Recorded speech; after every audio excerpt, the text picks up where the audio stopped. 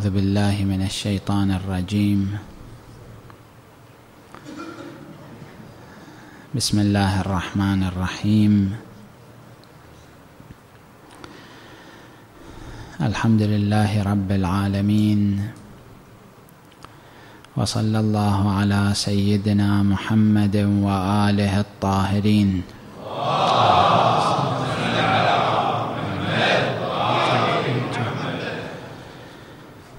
ولعنة الله على أعدائهم أجمعين إلى يوم الدين.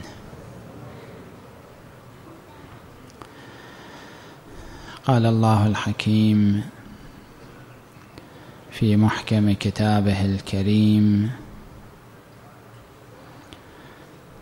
بسم الله الرحمن الرحيم. إن الله لا يغير ما بقوم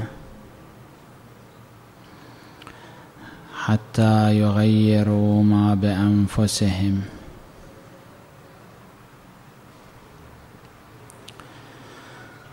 صدق الله العلي العظيم.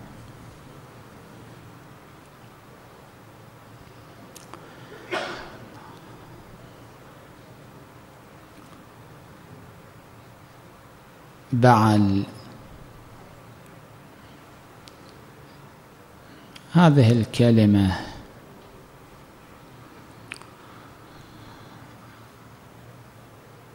بدأنا بها خطبة سابقة قبل سنوات. كلمة بعل. مخففة عبارة برمجة العقل اللاواعي.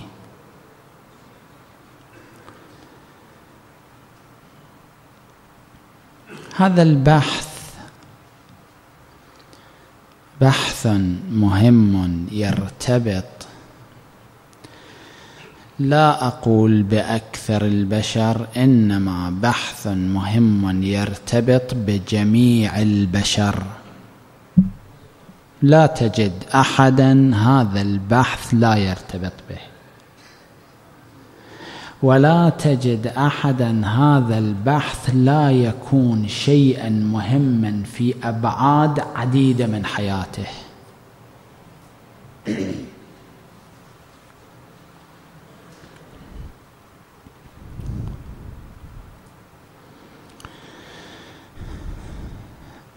هناك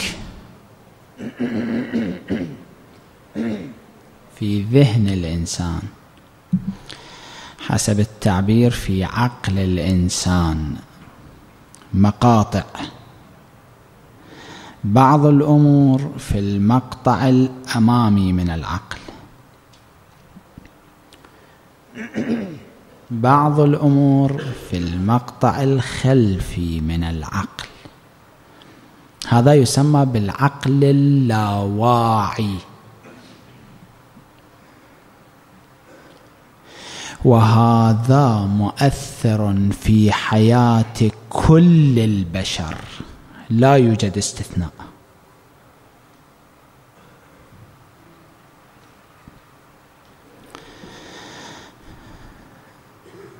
هذا الموضوع له أبعاد عديدة. نأخذ بعدا واحدا. أبعاد كثيرة. بعد واحد. من أبعاد برمجة العقل اللاواعي. كثير من الناس. هذا البعد وحده يشمل لعله ثمانين بالمئة من الناس. لعله تسعين بالمئة من الناس. كثير من الناس تحصل عندهم قناعات معينة ولكنهم يخالفون قناعاتهم. لماذا؟ في أبعاد عديدة. في البعد العقدي فيما يرتبط بالعقيدة. في البعد العملي الشرعي. في البعد العائلي.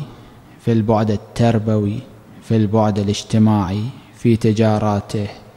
في حياته الشخصية الخاصة به في أبعاد عديدة. تحصل عنده قناعات معينة ولكنه يخالف قناعاته. ما السبب؟ مقتنع ولكنه يخالف قناعاته.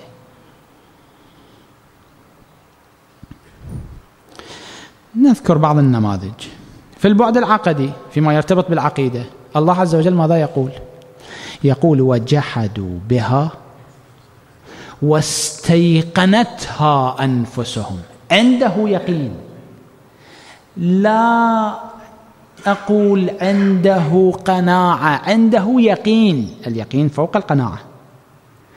القرآن الكريم يقول أكثر من ذلك. يقول استيقنتها. استيقنتها زيادة المباني تدل على زيادة المعاني. يعني يقين شديد.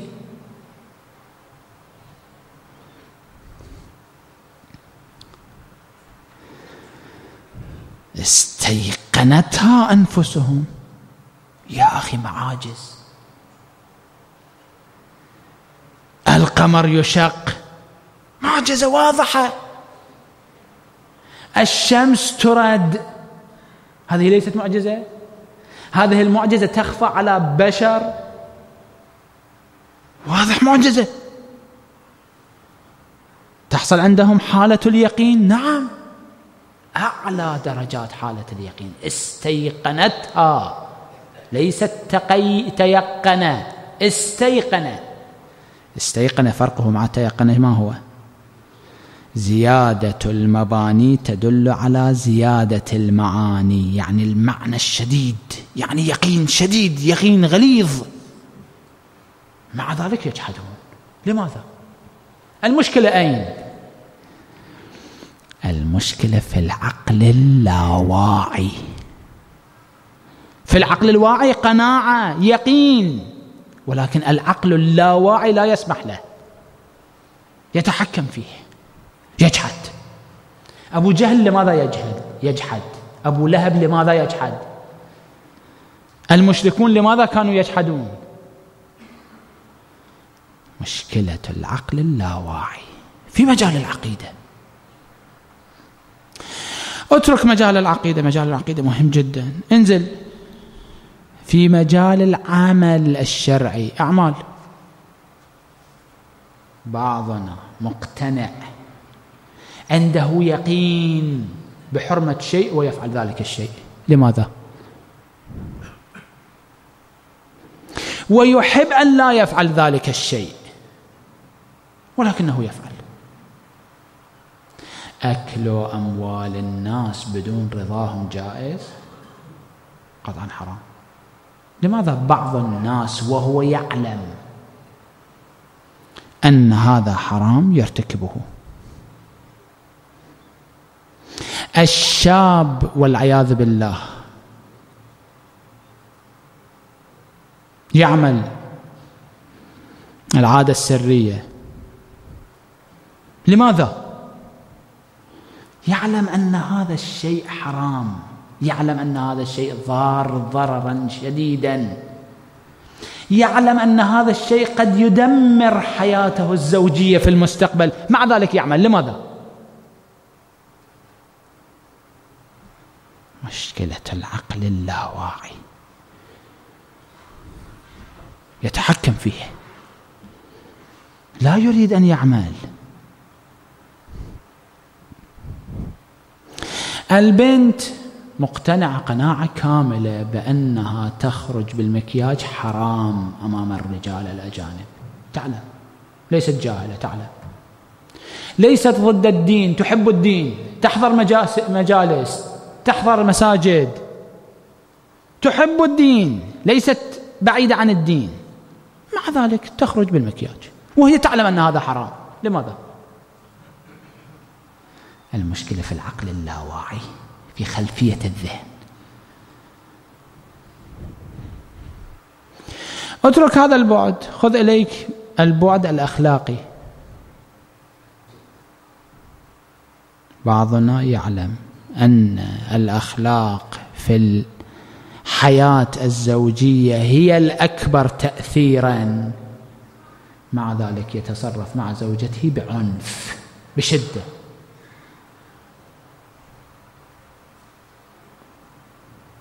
شخص. لا إله إلا الله. كان يقول أنه يعاني منذ سنوات من مشكلة عائلية بينه وبين زوجته. وسبب هذه المشكلة أنه أخطأ خطأ ما قال ما هو الخطأ. خطا معين. والحل لهذه المشكلة أنه يذهب إلى زوجته ويعتذر منها ولكنه لا يذهب لا يفعل. يعلم المشكلة. ويعلم الحل. كان يقول إذا أعتذر لها تقبل العذر. سنوات يعاني ولكنه لا يعتذر. أين المشكلة؟ لا يفهم؟ لا يفهم. لا يعرف المشكلة يعرف المشكلة. لا يعرف الحل يعرف الحل. لماذا لا يعمل بالحل؟ وهو يعاني. مشكلة مشكلة زوجية. معاناة. خلفية الذهن.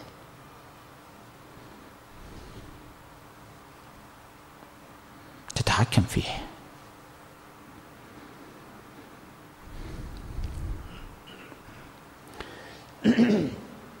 خذ إليك القضايا الدينية. عندنا علم أن الدنيا تغيرت. ليست كالسابق. الوضع تغير كثيرا. نعم نفهم نعلم.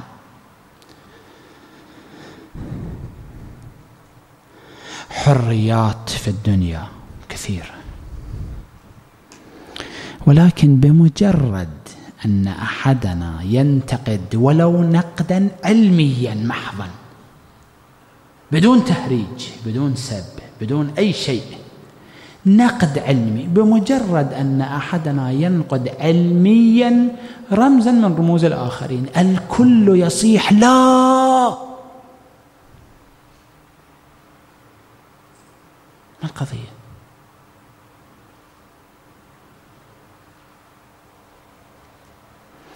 لا في بلد آخر أصلا. شخص لا يرتبط بنا أصلا.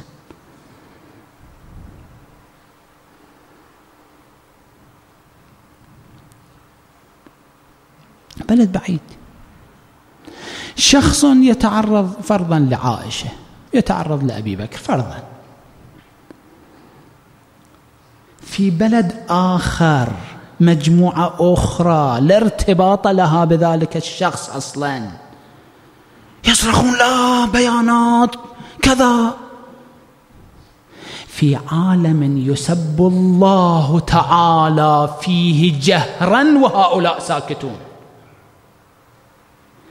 في عالم تسفه آيات قرآنية والعياذ بالله وهم ساكتون. لا يصدرون بيانات. لا أقول تسفه آيات قرآنية من غير المسلمين من المسلمين. لا أقول تلويحا تصريحا يقول بعض الآيات القرآنية باطلة. خلاص بكل صراحة. وهؤلاء ساكتون. ولكن ليتعرض شخص لأبي بكر لعمر لعائشة. كلهم يصرخ. ما القضية؟ لا أتكلم عن الآخرين أتكلم عن أنفسنا. عن إطارنا الشيعي. ما القضية؟ تسفه آيات قرآنية. من قبل مسلمين من قبل رجال دين مسلمين. شكله شكل رجل دين. أنتم ساكتون. المشكلة أين؟ لا علي بالقضية. المشكلة أين؟ المشكلة في الخلفية الذهنية. ليست في الذهنية الحاضرة في الخلفية. في التربية الذهنية. تعود على هذه الحالة الشخص. منذ صغره العادة تبقى. ليست تبقى تتحكم فيه. اترك هذا البعد. خذ إليك بعدا آخر. الأبعاد الشخصية قضايا شخصية. شخصية خاصة بالشخص. أحيانا عندنا قناعات بأشياء ونخالف قناعاتنا في القضايا الشخصية. بعض الناس يدخن لا بأس. بعض الناس يقول التدخين لا يضر لا بأس. لا بعض الناس يدخن وهو مقتنع بأن التدخين ضار ضررا كبيرا. لماذا يدخن؟ التدخين ليس محرما ولكن هو مقتنع. مقتنع أنه يضر جسمه. لماذا يضر جسمه؟ لا يحب أن يقلع نفسه عن التدخين يحب. لا يعاني من التدخين يعاني.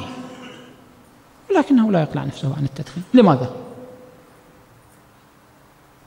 المشكلة أين؟ ليست في القناعة الحاضرة في الخلفية الذهنية. والآلاف من الأمثلة.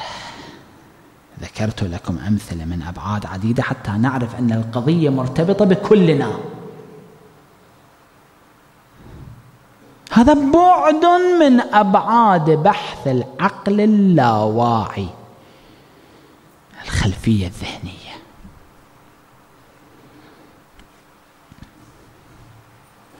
هؤلاء لماذا يخالفون قناعاتهم؟ هؤلاء ليسوا عقلاء؟ لا هم عقلاء. بل بعضهم لعله أعقل من غيره. اذا لماذا يخالفون قناعاتهم لماذا لا يحلون هذه المشاكل وهم يحبون أن يحلوا هذه المشاكل؟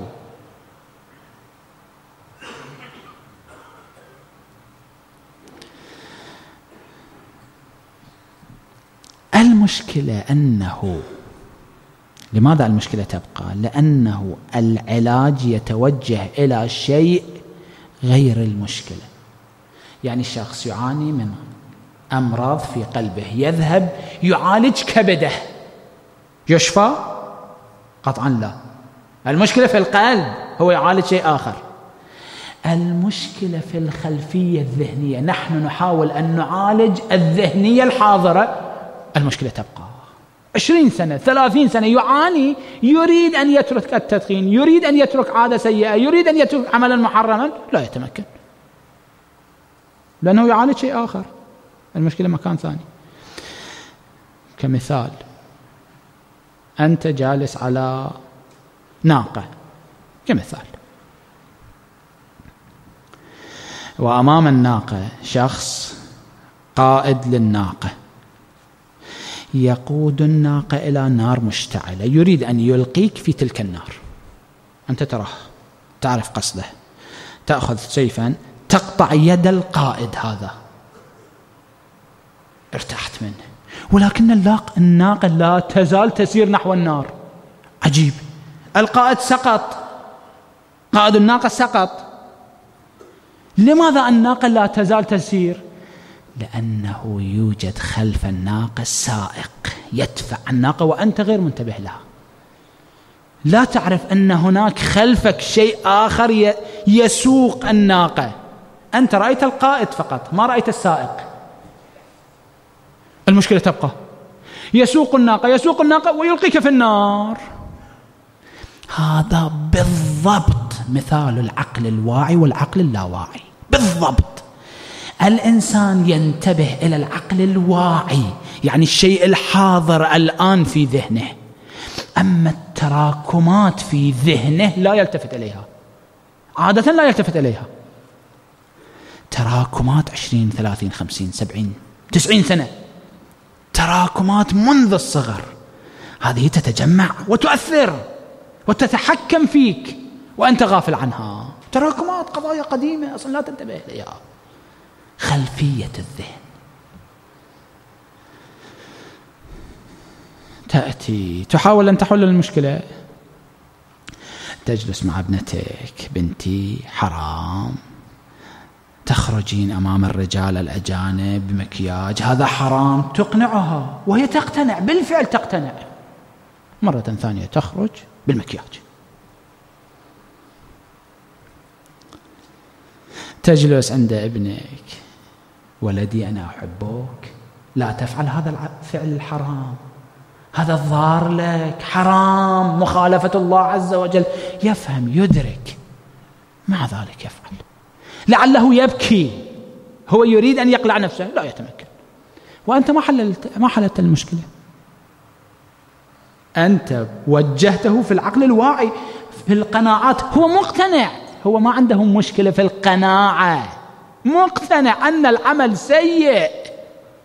لعله ينصح الآخرين أيضا لا تفعلوا هذا العمل ولكن هو يفعل. المشكلة بقيت. تذهب إلى الطبيب المتخصص الخبير يجلس معك ساعة ساعتين ثلاث ساعات تدخين ضار ضار ضار. تخرج مرة ثانية تدخن. لأنك ما عندك مشكلة في القناعة. كل الكلام يصب؟ أين؟ في القناعة. المشكلة البنت فتحت عينيها رأت المرأة الفلانية تخرج بمكياج. رأت نساء تحبهن يخرجن بالمكياج. رأت نساء عظيمات في عينها أمها أم البنت عظيمة في عينها. عمتها خالتها يخرجن بالمكياج. في المسجد مكياج. في الأماكن المقدسة مكياج. تربية حصلت في ذهنها تربية خاطئة. تلك التربية بحاجة إلى علاج. بدون علاج تلك التربية أنت تتكلم كلاما فارغا. تحاول أن تحل المشكلة في مكان ثاني. المشكلة لا تحل.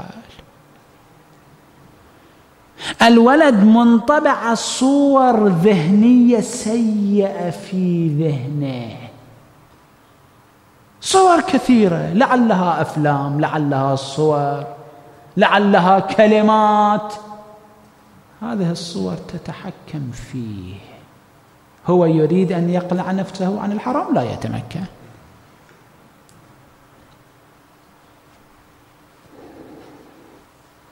هذه قضايا عادية نسبيا أقول عادية. حتى في القضايا الحياتية هذه المشكلة موجودة. لعله حصل لبعضكم قطعا حصل لبعضكم. تجلس مع شخص مخالف تبين له أن طريقه خاطئ. قناعة. أدلة كافية وافيه وهو يعترف أن الأدلة كافية ووافية. تفضل تفضل في طريق أهل البيت. يقول لا. خلفية ذهنية تراكمات. لا يتمكن أن يترك تلك التراكمات. أحد المشايخ كان يقول في المسجد الحرام جلست مع أحد من المخالفين. سألت منه سؤالا. هذه الرواية من مات ولم يعرف إمام زمانه مات ميتة جاهلية رواية صحيحة أم لا؟ نعم صحيح طبعا تعلمون هذه الرواية. رسول الله صلى الله عليه وآله قال هذا المعنى بعبارات مختلفة. بشتى العبارات بين هذا المعنى. هذا المعنى صحيح؟ قال نعم صحيح. قلت له أنا أسأل منك سؤالا. من هو إمام زمان فاطمة؟ فاطمة الزهراء صلوات الله وسلامه عليها. من هو إمام زمانها؟ هو يعرف أنا ماذا أقصد. سكت لحظات ثم بدأ يضحك. قلت أنا أسأل منك سؤالا أجبني ما أجاب. يضحك. لماذا تضحك؟ قال لأنني أضحك على نفسي. أفكر ماذا أقول؟ إن قلت إمام زمانها هو أبو بكر. في البخاري موجود أن فاطمة سلام الله عليها سخطت على فاطمة فوجدت فاطمة على أبي بكر. وجدت يعني سخطت سخطا شديدا. على أبي بكر فهجرته ولم تكلمه حتى ماتت. نص البخاري. هو إمام زمانها وهي تسخط عليه وتموت وهي ساخطة عليه. وتعلمون ما هو سخط فاطمة؟ كم هو خطير أن تكون فاطمة ساخطة على شخص. إن قلت هكذا الباب مغلق أمامي.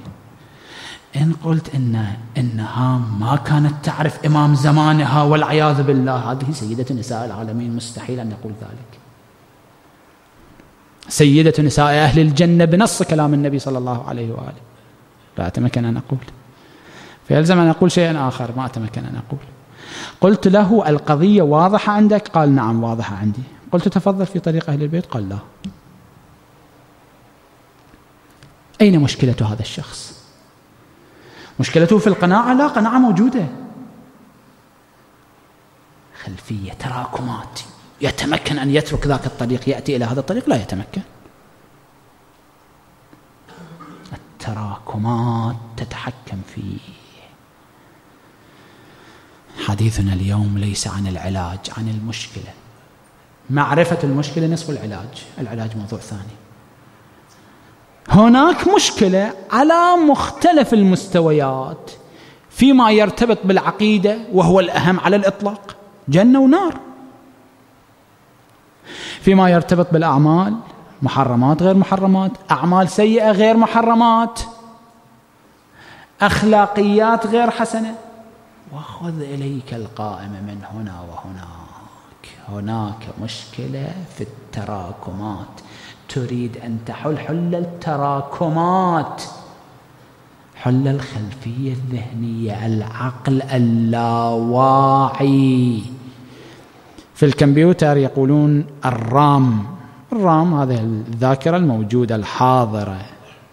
هناك مشكلة في تراكمات الكمبيوتر. أنت تحل مشاكل في الرام. المشكلة تبقى. الكمبيوتر لا يعمل. الأخطاء في الكمبيوتر تكثر.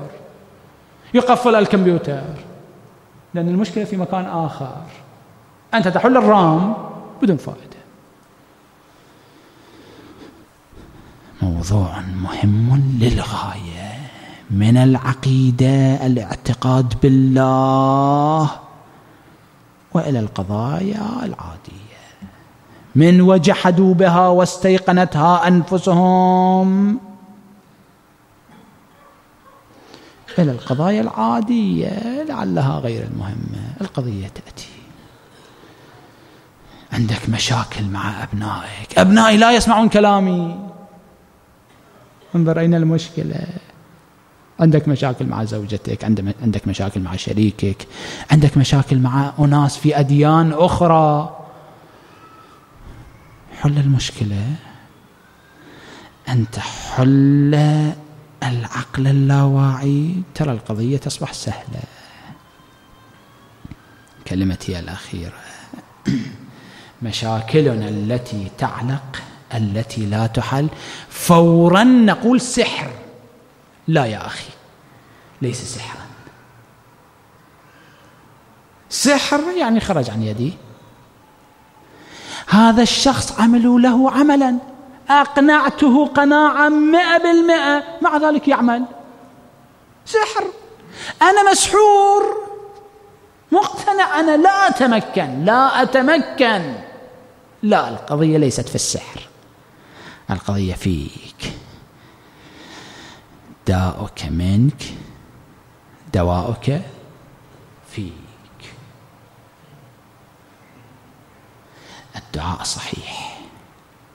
مئة بالمئة صحيح الدعاء. ولكن الله عز وجل يقول إن الله لا يغير ما بقوم. الله عز وجل مشكلة عندي أنا. أنا عندي مشكلة مع الشيء الفلاني. الله إن شاء الله ينجيني إن شاء الله إن شاء الله الله ينجينا جميعا. ولكن إن الله لا يغير ما بقوم حتى يغيروا ما بأنفسهم.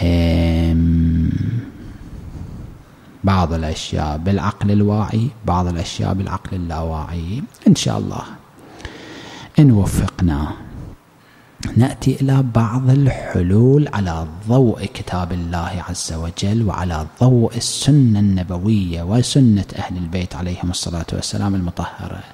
هناك بعض الحلول الدقيقة والكلام طويل ولكن نأتي إن شاء الله تعالى إن وفقنا في فرصة أخرى إلى بعض الحلول للعقل اللاواعي. نسأل الله سبحانه وتعالى ببركات أهل البيت اللهم صل على محمد وآل محمد وعجل اللهم فرج مهدي آل محمد.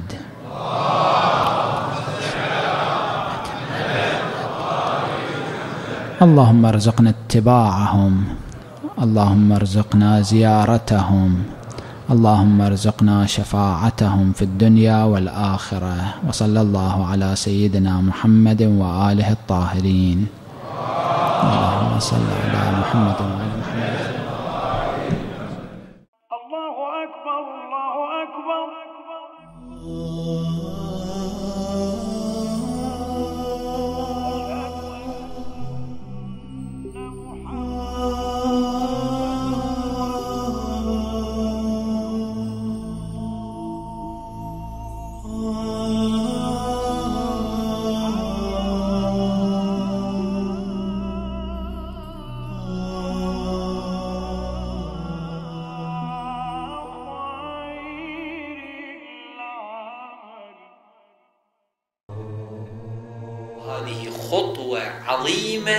طريق طويل الإنجاز أولا والوصول إلى مستوى التحدي ثانيا والتفوق ثالثا.